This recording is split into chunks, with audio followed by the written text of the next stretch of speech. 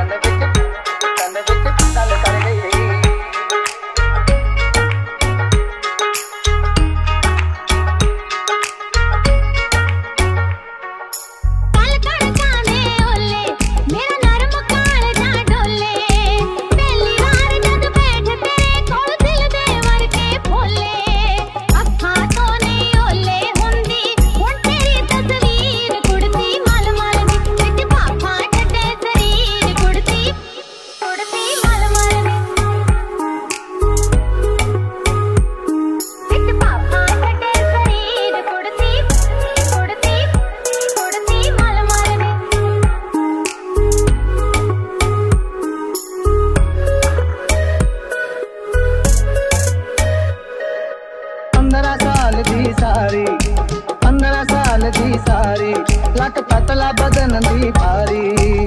ਫੁੱਲ ਵਾਂਗੂ ਤਰ ਜਾਏਗੀ ਨੀ ਅੜੀਏ ਲਾ ਮਿੱਤਰਾਂ ਨਾਲ ਯਾਰੀ। ਸੁਪਨਿਆਂ ਦੇ ਵਿੱਚ ਰਹੀ ਖੇਡਦੀ ਕਰਕੇ ਹਾਰ ਸ਼ਿੰਗਾਰ। ਕੰਨ ਵਿੱਚ ਗੱਲ ਕਰ ਗਈ, ਇੱਕ ਪਤਲੀ ਨਰਮ ਜਿਹੀ ਨਾਲ। ਕੰਨ ਵਿੱਚ ਗੱਲ ਕਰ ਗਈ।